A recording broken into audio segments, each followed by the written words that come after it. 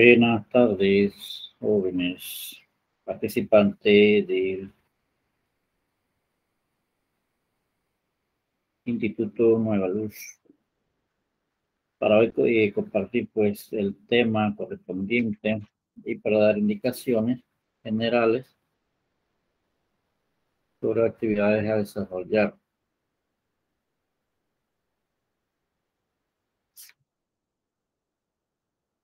Vamos a terminar aquí pues eh, sobre la historia del dibujo.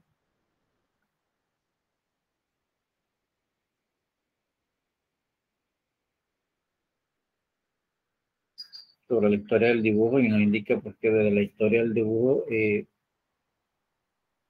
en su origen donde los trazos, donde el hombre eh, dio la necesidad de comunicarse, de expresar sus emociones, sentimientos, necesidades. Lo, hizo pues a través de los trazos realizados en el suelo, trazos realizados en la en los árboles, en, en, en las cuevas, y que todo esto ha tenido una evolución pues, desde, su inicio, desde la historia del dibujo sobre las cavernas, dibujos prehistóricos, todo ha ido evolucionando hasta el momento eh, y donde conocemos por las diferentes herramientas, materiales utilizados para eh, desarrollar el dibujo, además de las diferentes técnicas eh, de pintura que se aplican para pues, resaltar el, colores, formas, texturas, detalles, volumen, contrastes, todo lo que conocemos a través de lo que es el color. Además, pues que la historia en la historia del dibujo, los primeros dibujos conocidos se remontan a la prehistoria, como los que se encuentran en las cuevas de Altamira, donde nuestros antepasados representaron los, eh, en los techos, las paredes, las grutas, lo que consideraban importante transmitir y expresar, y que de las primeras civilizaciones perduran escasos testimonios de dibujos que normalmente se, por la fragilidad de sus soportes, o, o porque eran un medio para elaborar posterior pinturas, recubriéndolas con capas de color. Que quizás se fueron eh, perdiendo por, por o sea, no, no había forma de poder eh, conservarla, o que por sobre esa obra de arte o sobre esas eh, actividades que habían desarrollado, pudieron desarrollar, desarrollar otras o quisieron con la evolución ir desarrollando otras cubriendo eso o dejando en capas cubiertas esos dibujos realizados. En las culturas de la antigua China, Mesopotamia, el Valle de Indo o el antiguo Egipto nos han dejado nuestras evidencias, muestras evidentes de ello, de eh, ideándole los primeros cánones de proporción, en el caso de la proporción de la figura humana, como sucedió también en la antigua Grecia o en Roma. Esta evolución que ha tenido el, dibujo también eh, en el arte, en la Edad Media, se utilizan profusamente el dibujo, generalmente coloreado, para representar eh, sobre pergamino los temas religiosos tratados a modo de explicación o alegorías de las historias escritas, primando los símbolos sobre, la, sobre lo realista. Incluso en, la, en sus proporciones, los cánones también eh, incluían en la cultura eh, islámica, donde construyen sus preciosos dibujos de acompañaban a textos de la anatomía, la astronomía y astrología, que eran los temas eh, o las temáticas, las cuales más desarrollaban sobre ese sobre esa época o en esa época. Eh, la historia del dibujo en la, en la edad del Renacimiento en el Renacimiento se estudia el método de reflejar la, la realidad lo más fielmente posible con arreglos a unas normas matemáticas y geométricas impecables, donde Filippo Brunelleschi surge la perspectiva cónica. El dibujo eh, de, la mano de los grandes artistas renacentistas cobra autonomía adquiriendo un valor propio en el autorretrato, en los planos arquitectónicos y variados, temas realistas como los de Leonardo da Vinci, además de seguir sirviendo como estudio previo e imprescindible de otras artes como la pintura, la escultura y la arquitectura. ¿Ya? El dibujo, el arte del dibujo da origen pues, a otras artes como lo es la pintura, la escultura y la arquitectura. Y que como se sabe, pues cada una eh, o todas las demás artes eh, necesitan o si necesita o inicia con la aplicación del dibujo, ¿ya? Como base.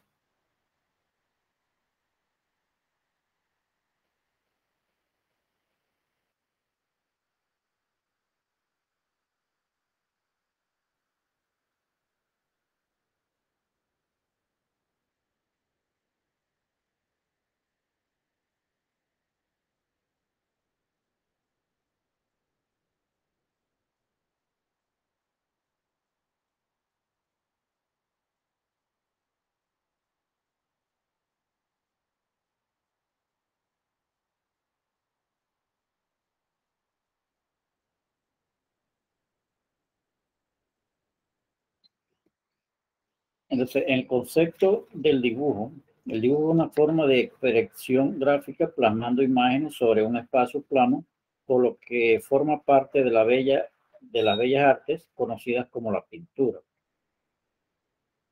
Eh, la pintura tiene como inicio como origen, como base, el dibujo. Siempre se debe desarrollar primero un boceto o algo previo antes de la pintura no sea, o ya sea que la persona quien este, aplica el, o desarrolla la actividad ya lo tenga, eh, tenga la práctica, tenga el dominio de la técnica, que aplica la pintura sin necesidad de poder eh, iniciar desde un boceto o, o un, un pero en sí, al momento de aplicar la pintura está, eh, puede desarrollar o aplicar la forma de cómo dibujar. Y una de las modalidades de las artes, artes visuales, además de se considera como el lenguaje gráfico universal utilizado por la humanidad para transmitir ideas, proyectos y un sentido más amplio de su cultura. Dibujo es la modalidad de arte visual. ¿ya? Es un, medio de comunicarse, un medio de comunicación, como dicen, es un lenguaje universal, porque independientemente de lo que se utilice, signos, símbolos, formas, señales, eh, utiliza o están aplicando allí lo que es parte del dibujo.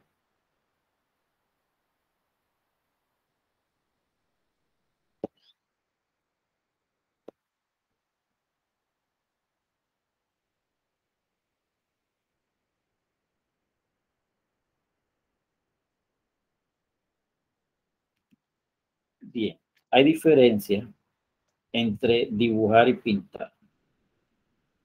Hay diferencias entre dibujar y pintar. Dibujar y pintar no significa necesariamente lo mismo. Por su naturaleza física, el dibujo es un subconjunto de las manifestaciones artísticas conocidas como pintura, pero no forma parte de la, de la pintura como técnica de representación.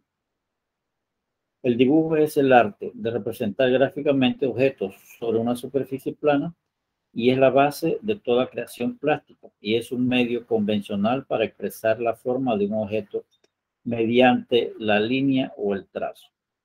En la pintura, la estructura de los planos se logra mediante las masas coloreadas. aquí el contenido este. En cuanto a la pintura, eh, la pintura nos indica que la, es la estructura de los planos se logra mediante las masas coloreadas. Las técnicas de pintar y dibujar pueden ser confundidas porque las herramientas son las mismas para ambas tareas. Las técnicas de, pintar y las técnicas de dibujar en algunos casos puede ser confundida porque son las mismas herramientas que se utilizan para eh, la misma tarea. Para ambas tareas. Pero las operaciones son distintas. Pintar incorpora la aplicación de pigmentos y colores. Pintar incorpora la aplicación de pigmentos y colores, generalmente aplicados mediante un pincel que son esparcidos sobre, un lienzo eh, mientras que el dibujo es la delineación de una superficie que generalmente es el papel. El término dibujar, el término dibujar también sugiere un proceso distinto al, al de la pintura. El dibujo es generalmente exploratorio, con énfasis principal en la observación, solución de problemas y composición en contrastes, la pintura tradicional generalmente es la, eh, en su ejecución o acabamiento del dibujo mediante la inserción de pigmento.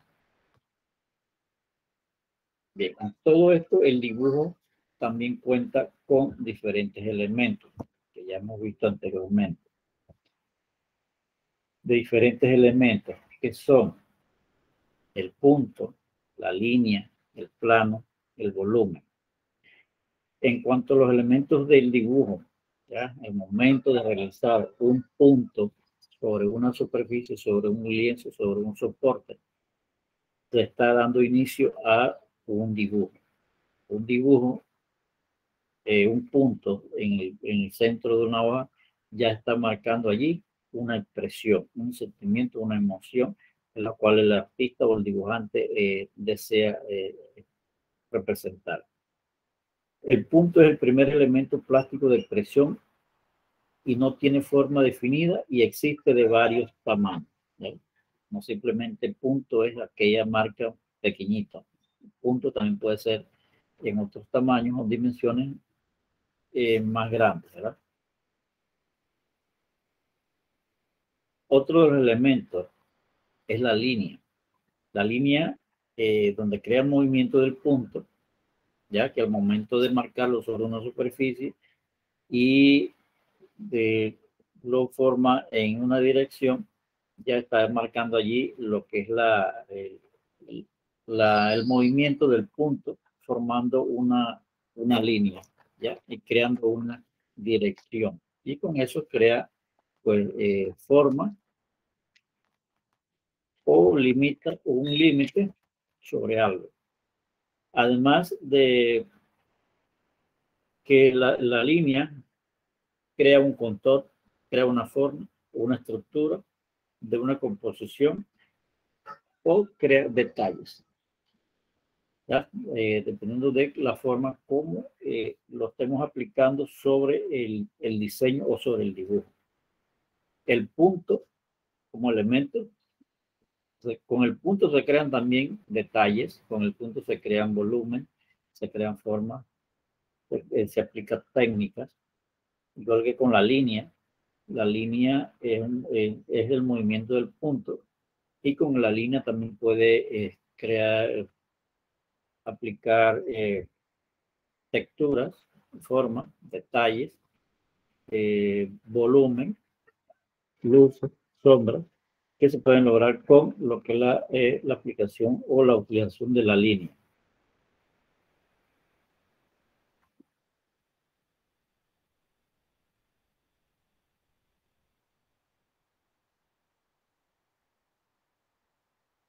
Otro de los elementos del dibujo, desde su origen, pues, es el plano. El plano es el espacio bidimensional por el cual se desplaza la línea plano es el espacio bidimensional sobre el cual se desplaza la línea. También tenemos como otro elemento el volumen. El volumen es un cuerpo con efectos tridimensionales dado por la luz y la sombra que se logra mediante eh, trazos y técnicas diversas. ¿ya? El volumen. Y el volumen lo puede crear pues, con las técnicas de dibujo, con las técnicas de pintura, con las diferentes formas de aplicaciones de materiales y técnicas de dibujo y pintura. Para el dibujo también debemos conocer las fases de ejecución, la fase de ejecución de un, de un dibujo.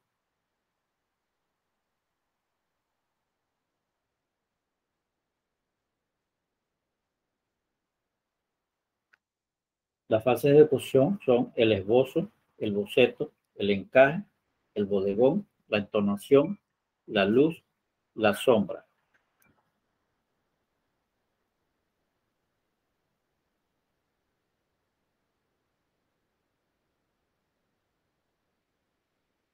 En cuanto al esbozo, es un, es un dibujo simple, rápido.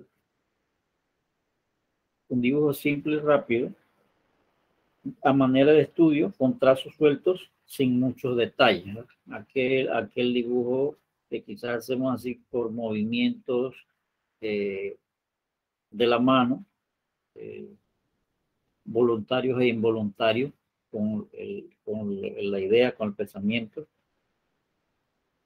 que tengamos sobre alguna forma, ya sin, sin detalles, sin, sin volúmenes, otras formas, eh, consiste pues lo que es el esbozo o el boceto. El boceto es un dibujo eh, mucho mayor que el esbozo, es un paso más, como ir ya dando forma, un poquito, detallando un poco más sobre el boceto, sobre el esbozo.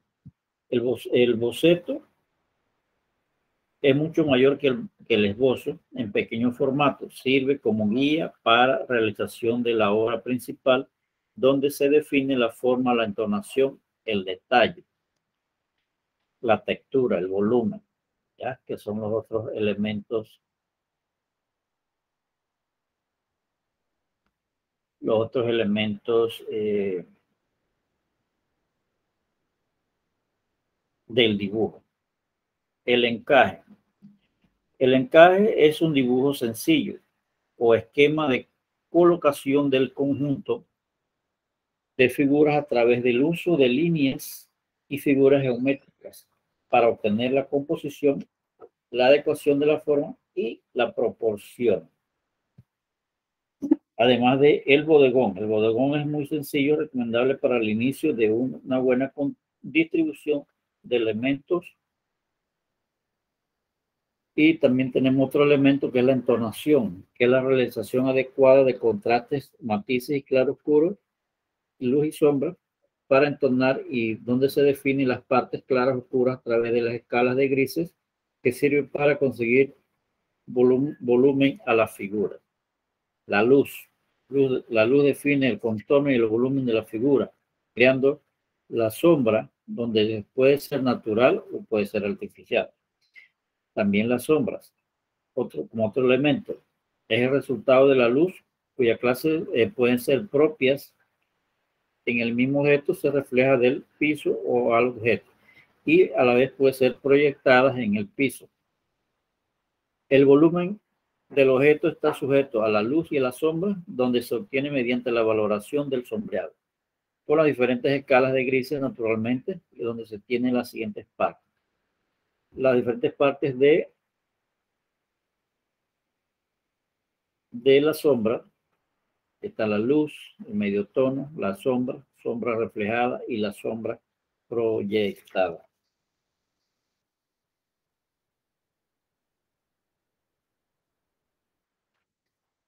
Vamos a conocer algunas de las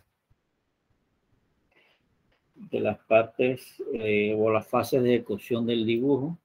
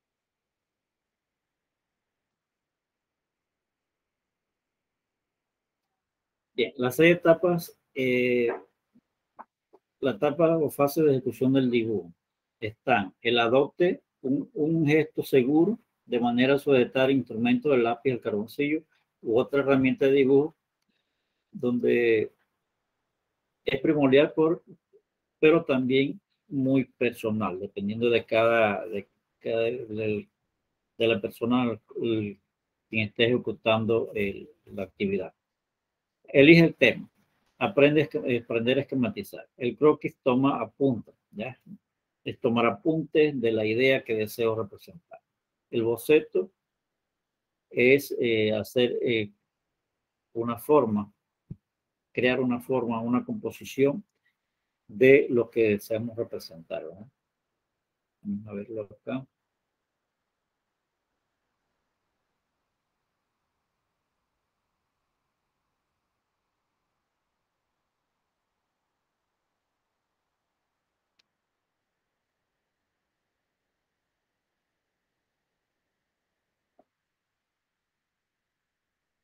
Bien, verlo aquí en este ejemplo.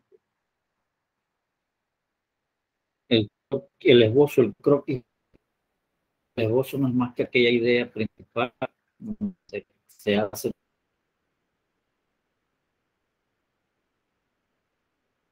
trazos, trazos básicos, esenciales, sencillos, sobre eh, lo que queramos, eh, la idea que queramos desarrollar.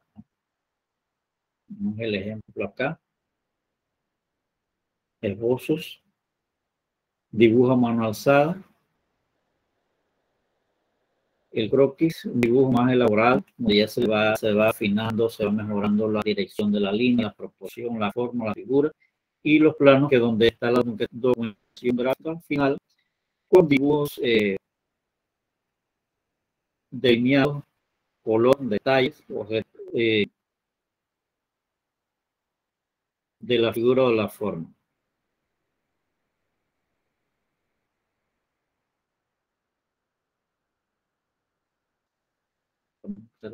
También.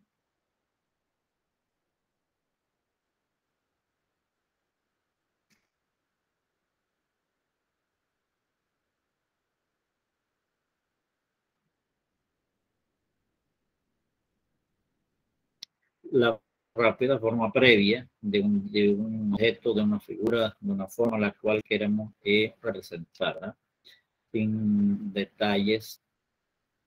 Por acá, los diferentes eh, pasos iniciar o realizar un boceto previo de ¿ya? El esbozo, el boceto, el encajado sobre una forma, sobre una figura, el encaje sobre alguna forma geométrica, para poder lograr el, el objeto o la figura final.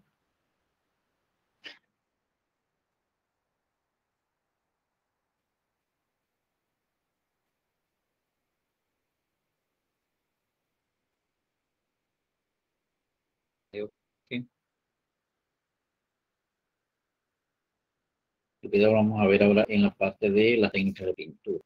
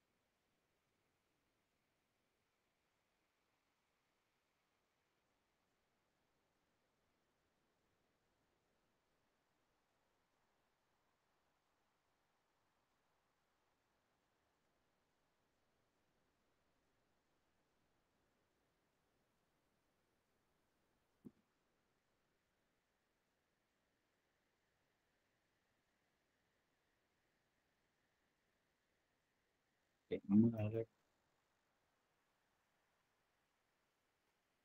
Vamos a compartir la canción las aplicaciones de la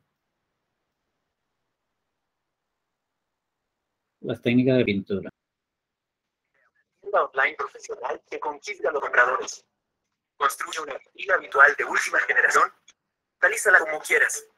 Muestra tus productos, máquinas y vende suscripciones. En la técnica de pintura son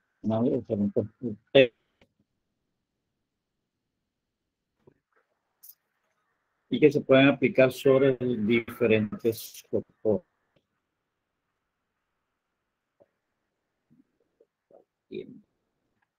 Sí te gustan las manuales.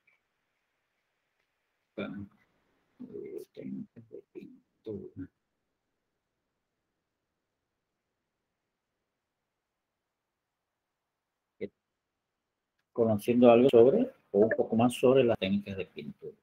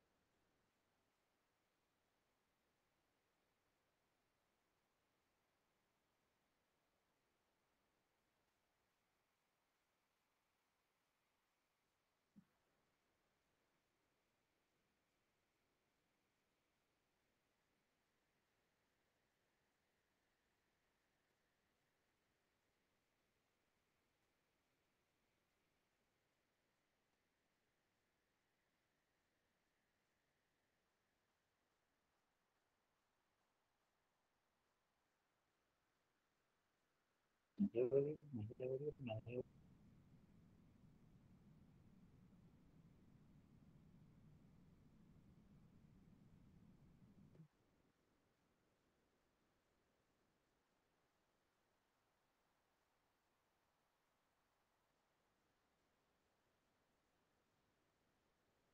Mandévole.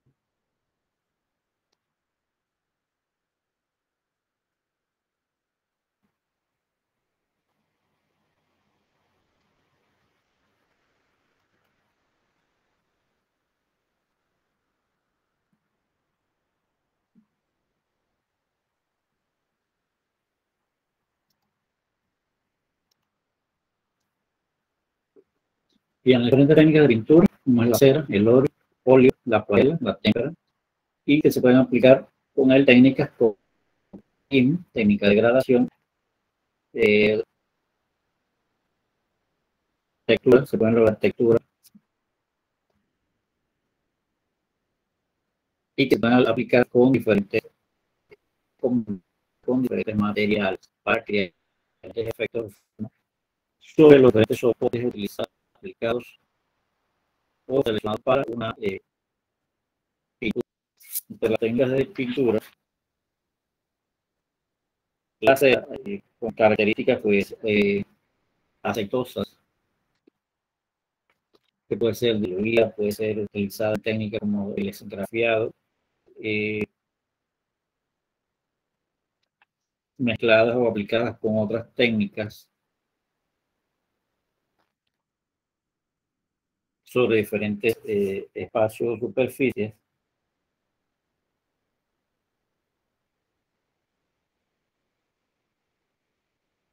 Y con temáticas eh, también variadas, que todo va a depender de la creatividad o la aplicación, la destreza, habilidad que desarrolle cada eh, participante o cada persona que decida aplicar los la fase de ecuación del dibujo y las formas de aplicaciones de, de la pintura. En este caso, con la, las crayolas o los lápices de cera, que se crea la técnica de el es, esgrafiado. Otra de las técnicas, pues, también otra, eh, otra técnica con eh, aceptoso de componentes eh, aceitosos que utilizan como disolvente o diluyente el aguarrás o el aceite de trementina. Y como él se crea, pues, degradación, empaste, se, se logra también con el, el puntillismo, las tramas de línea, las texturas que crean formas, volúmenes, se puede eh, aplicar capas sobre capas. Es aplicable también sobre eh, otras técnicas como el, acrílico. Ya, y se, y se utilizan herramientas, los pinceles, las espátulas, eh, polifón, los dedos, la mano o cualquier otra herramienta con la que pueda aplicar el color sobre una superficie. La acuarela. La acuarela también es técnica a base de agua, ¿ya? Por supuesto, entonces con su disolvente agua, donde crea eh, la transparencia, la transparencia eh, en el papel o en el soporte. Igual crea fue, detalles, volúmenes, formas y principalmente es utilizado más para eh, las temáticas de paisajes, tanto la tela. La, te, la también es otra de las técnicas a base de agua y aplicable sobre eh, diferentes soportes, materiales, soportes como lo es el papel, el cartón, el lienzo, eh, la témpera pues con características eh, medio espesas, con características de secado rápido, eh, secado rápido, dependiendo pues de las de la temperatura con la que se cuente. Así será pues el, secado. Desde del momento de succión y permite también ser, utilizada o mezclada con otras técnicas como el acrílico o como la, con la acuarela, creando una técnica mixta, una técnica mixta sobre diferentes eh, temáticas que se pueden aplicar. Eh, podemos lograr o aplicar en cuanto al puntillismo, tramos del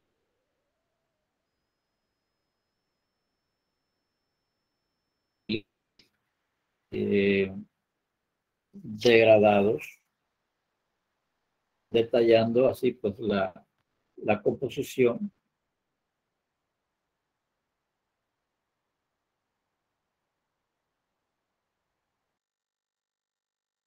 O determinar la temática que se haya eh, aplicado o, seleccionado.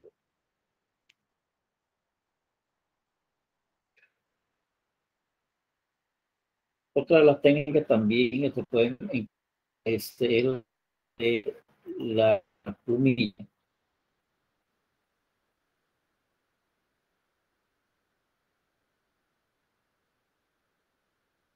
La plumilla también eh, se clasifica como técnica de dibujo o pintura con características eh, o dentro del grupo de las en el grupo de las técnicas eh, de agua